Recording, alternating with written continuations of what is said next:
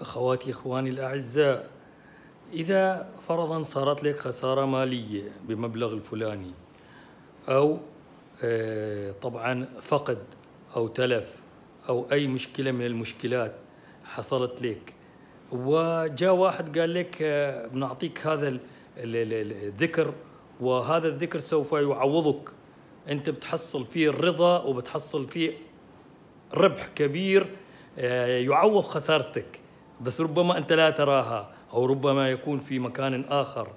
فهل سوف تعتقد وتتيقن وتطمئن بذلك؟ انظر ماذا يقول الله تبارك وتعالى. فاصبر على ما يقولون وسبح بحمد ربك قبل طلوع الشمس وقبل غروبها.